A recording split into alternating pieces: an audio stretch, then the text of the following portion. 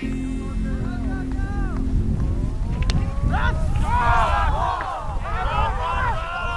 idea for the Snow Cricket World Cup originated from Estonia. About 10 years ago, I was lucky enough to play cricket on ice inside a former Soviet missile factory against the national team there.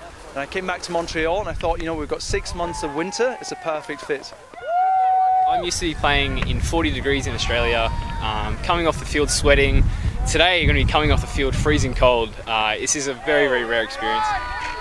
We play with tennis balls, which are frozen. It's the only thing that's going to bounce in this kind of temperature.